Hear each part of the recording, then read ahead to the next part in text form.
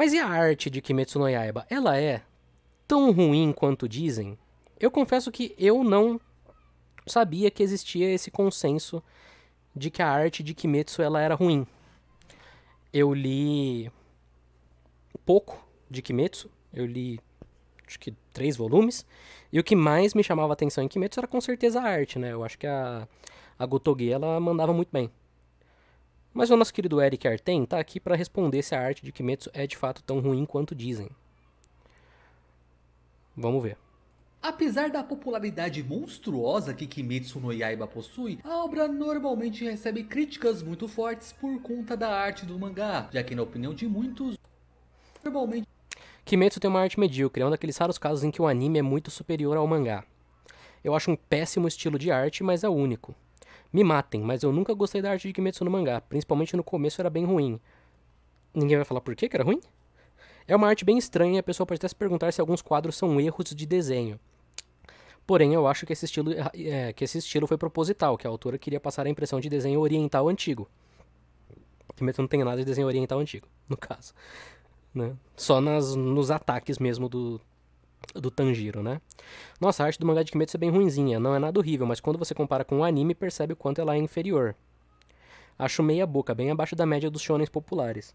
Eu costumo gostar de praticamente... Mas eu, de, um toys, eu tô literalmente falando da arte. Eu li o negócio da arte eu vivo, quando eu falo que Kimetsu não tem nada de desenho oriental antigo, você sabe que eu não tô falando da história num Toys.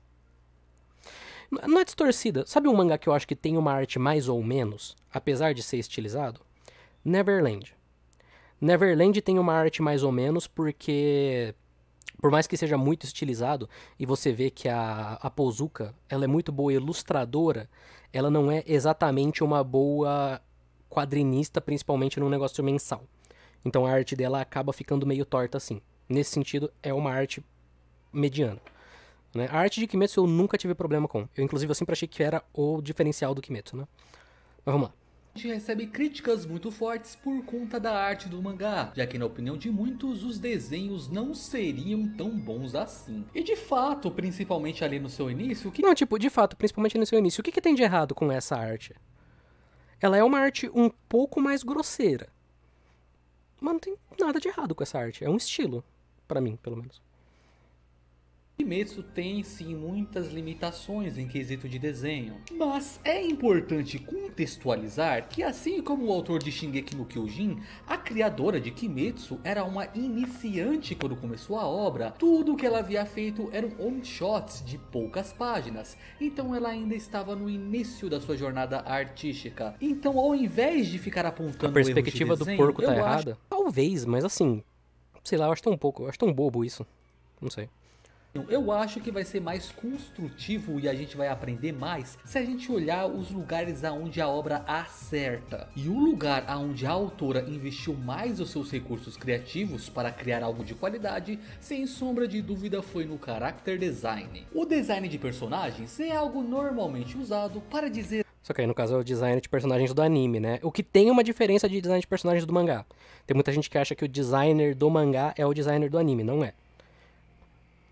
Isso aqui é o, é o character design do anime, que é a versão é, traduzida para a animação do mangá, que é o que eles vão fazer para tornar a animação mais consistente, né? Algo sobre um personagem sem a necessidade de ter que ficar descrevendo ele em palavras. Assim, só de você bater o olho, você já consegue saber algo sobre ele. Não é a única função desse tipo de design, mas é uma das mais utilizadas. Graças a isso, podemos supor coisas como personalidade, período É... Pica, tá? Design do Aizen é bom demais. Design do Aizen é muito bom. É louco, né? Porque é literalmente quando ele tá com o cabelo para frente e óculos, uma coisa, ele vira para trás, outra coisa completamente diferente e mudou pouquíssimo.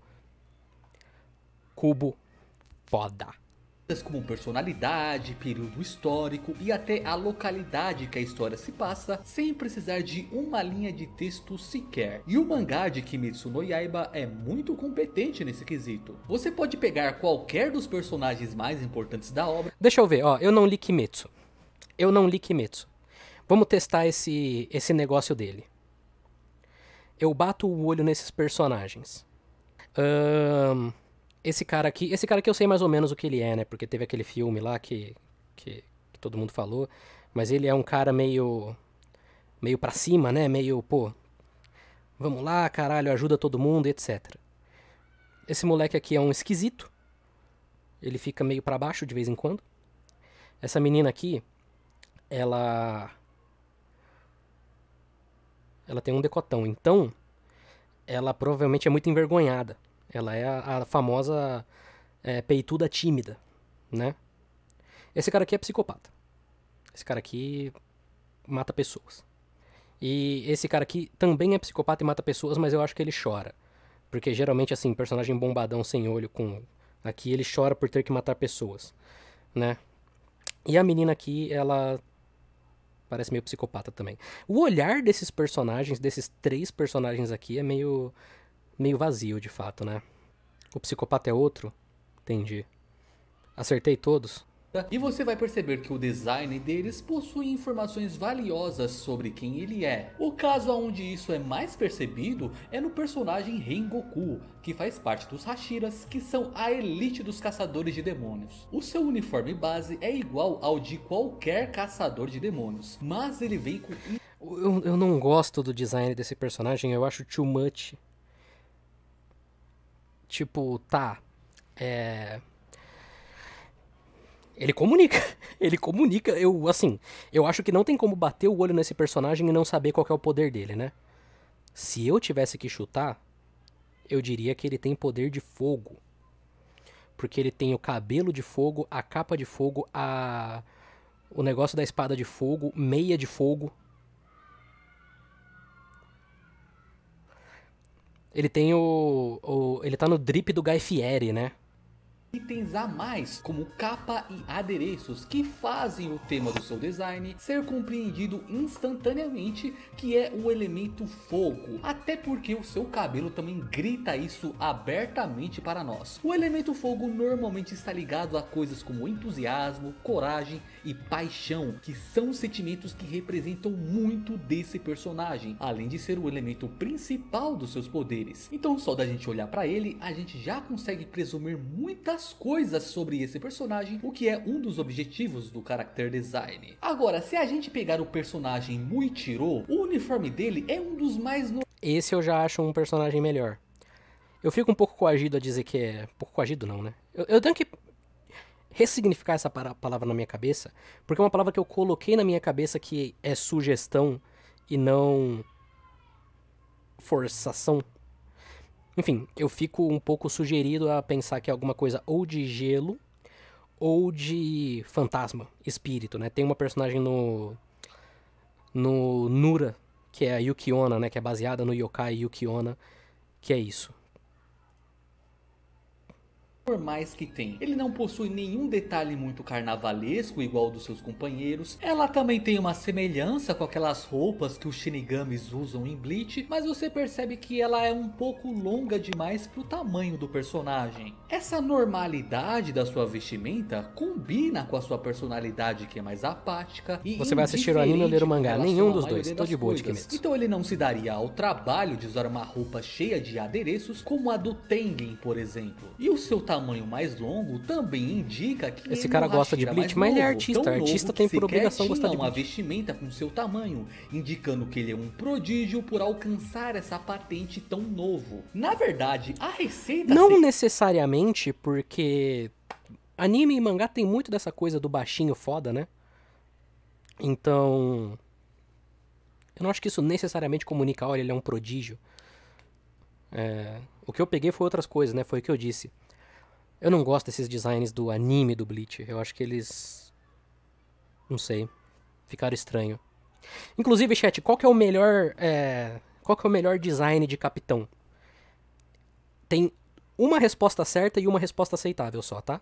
Seguida aqui é a mesma dos capitães de Bleach. Tem-se um uniforme padronizado da organização, Kenpachi mas você faz ali os dois pequenas erraram. customizações para combinar com a personalidade de cada integrante. Zaraki Agora, não. para além de simplesmente contar a história visual dos personagens, as escolhas de design exageradas de Kimetsu tornam os Zaraki e Byakuya, nenhum dos dois. dentro da obra. O velho- o velho bêbado- o velho bêbado é a escolha cabelos dos aceitável. personagens principais, por exemplo, O Kyoraku. a ponto de ser possível reconhecer um personagem só pelo seu penteado. A exceção é quando eles fazem parte da mesma família. Nesses casos, eles mantêm uma coerência visual por motivos óbvios. E para além disso, os designs são bonitos e estilosos visualmente. Eles foram cuidadosamente urso, não. pensados para que as Não pessoas é nem um urso, é um- gostem deles, o que abre raposa, né? muitas possibilidades para vendas de produtos em cima desses personagens. Não é a raposa. Outro elemento interessante que compõe os visuais de Kimetsu são os padrões nas roupas dos personagens. É, isso é o que Alguns dão dicas Kimetsu, né? sobre os poderes dos personagens e outros existem na cultura japonesa e contribuem para entender Mayuri é o melhor design. Todos os quatro designs do Mayuri. retratado, mas que também pode assumir um caráter de easter egg, por assim dizer, já que esses padrões têm certos significados e podem estar conversando com a história do personagem que está usando ele. Se pegarmos o Tanjiro, por exemplo, ele usa um padrão quadriculado preto e verde. Na cultura Quadradão. japonesa, esse padrão em qualquer tipo de cor é chamado de Ichimatsu, normalmente usado para simbolizar prosperidade. Tanjiro e Eu acho que isso, esse vídeo ele tá me dando uma vibe que eu tenho com vídeos do Eric Artem. É... Que ele não faz vídeos ruins, de forma alguma. O problema dele é que eu acho que quando ele pega pra fazer um assunto, pra falar sobre um assunto, ele bota importância demais em um aspecto de arte, ao invés de entender que desenho, num geral, é uma coisa gigantesca, né? É um- existe um conceito gigantesco. Por que será que esse vídeo da vibe do Eric Artem? Eu fui falar, né? Piada interna. Eu vou, eu vou explicar o porquê. Seu espertinho do caralho. É, porque ele tá comen- falando muito sobre como o design comunica coisas dos personagens, né?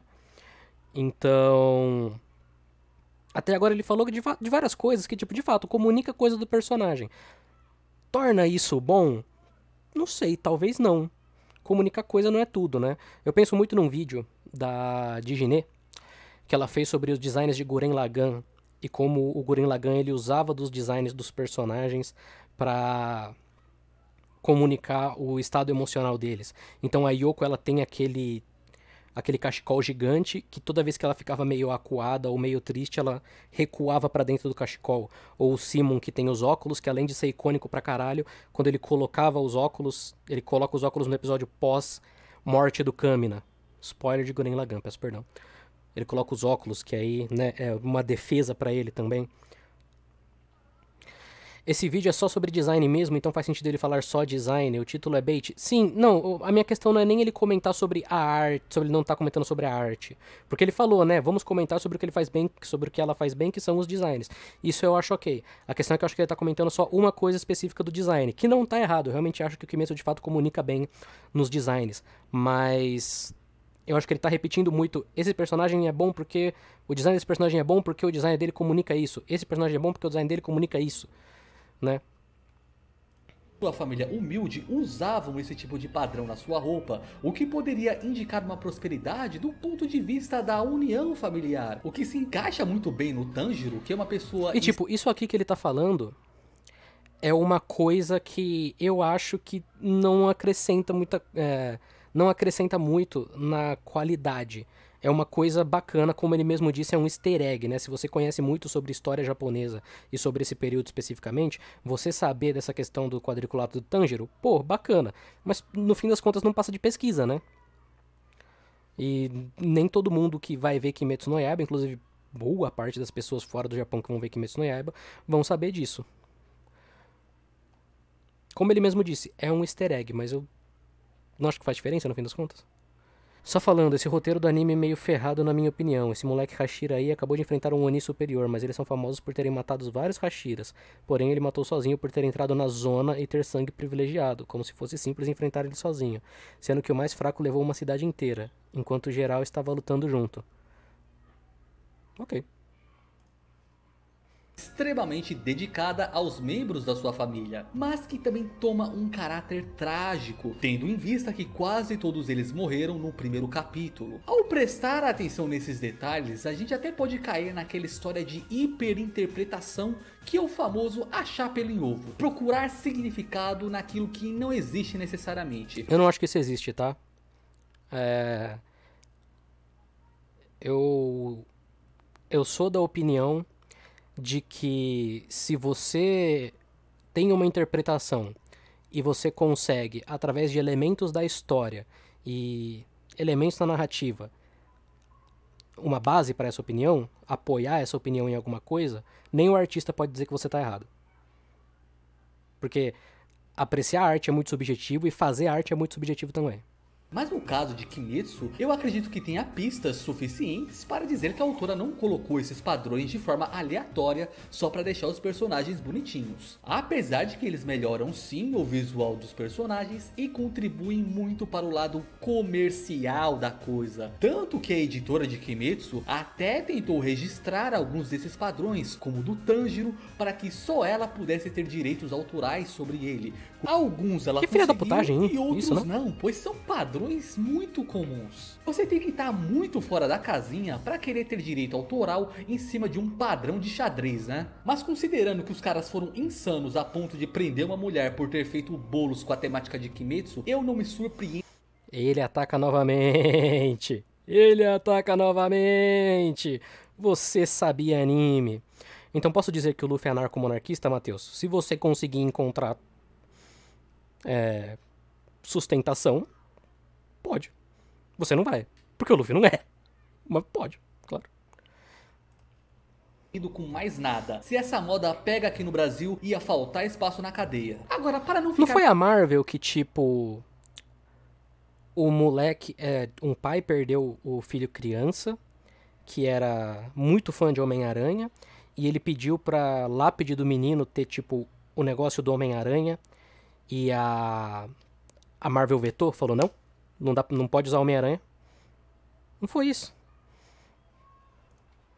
Estamos falando só do design dos personagens nesse vídeo, eu acho interessante comentar de uma maracutaia que a autora usa para melhorar a movimentação do Maracutaia seu do desenho. Para isso, ela utiliza de uma estratégia parecida que o Akira Toriyama usava em Dragon Ball, só que de um jeito diferente. Já é sabido que o Akira gostava de customizar as suas linhas cinéticas no mangá, estilizando elas para formar uma aura de Ki nos personagens e assim guiar melhor os nossos olhos pela página, além de aumentar a fluidez do personagem. Tá. Pois a autora de Kimetsu usa algo parecido, só que nos poderes dos personagens. A linha cinética de cada personagem Ô, ô, ô, ô, Eric, você não precisa apontar. Eu, eu, eu, eu vi, eu percebi. Como você mesmo disse, chama muita atenção. Eu, eu percebi. Você não- poderes dos personagens. A linha cinética de cada personagem é customizada para combinar com os poderes Isso não é só o que Kimetsu que faz, né? formando uma espécie de rastro pela página. É Graças bem- a esse rastro nessas páginas, pelo menos, tá muito bem feito. Conseguimos entender de uma forma melhor a movimentação que o personagem faz na luta. As linhas do Tomioka, por exemplo, vão assumir uma aparência de água, já as do Obanai têm a aparência de uma cobra. E outros personagens podem até mesmo fazer formatos de lua com a sua linha. Tudo vai depender de qual que é a afinidade do seu poder. Esse recurso ajuda bastante a melhorar a fluidez e guiar os nossos olhos pela página. Se a gente pegar o Ok. Kimetsu e olhar ele na luz de vários fundamentos do desenho, como composição, anatomia, perspectiva, ele fica muito atrás de outras obras do gênero, como Black Clover e Boku no Hero. Mas Discordo do Black Clover, hein? Como eu disse anteriormente, a autora era iniciante quando começou a obra. Não dá pra gente esperar que ela tenha o mesmo nível de qualidade de outros profissionais que têm muito mais experiência do que ela. Além disso, se você for esperar ter um Eu sei que ele vai falar, tipo, nem tudo precisa ser vagabonde. Mas eu quero tanto ver, ver um vídeo desse canal que não menciona vagabonde. Meu Deus do céu. Um, um vídeo dessas lives que não mencione vagabonde. nível de qualidade de um Takehiko Inui para fazer o seu mangá, você simplesmente não vai fazer. As pessoas vão melhorando e ganhando experiência enquanto fazem o negócio acontecer.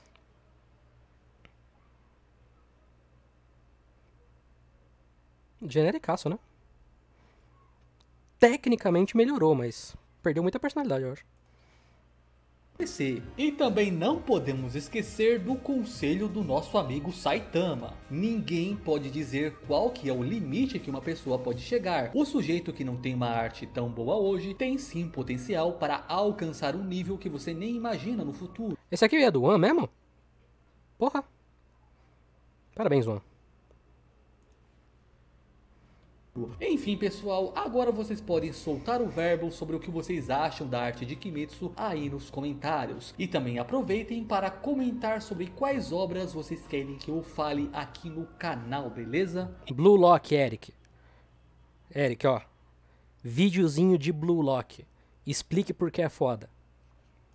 E para finalizar, eu quero agradecer a Juliana Rocha que acabou de assinar como um novo membro aqui no canal. E Salve, também Juliana. ao Ondifel que retornou como membro. Muito obrigado, obrigado Ondifel. pela contribuição de vocês e também obrigado a todos os outros membros que já me apoiam. E basicamente era isso que eu queria falar. Muito obrigado por assistir até aqui e até o próximo vídeo.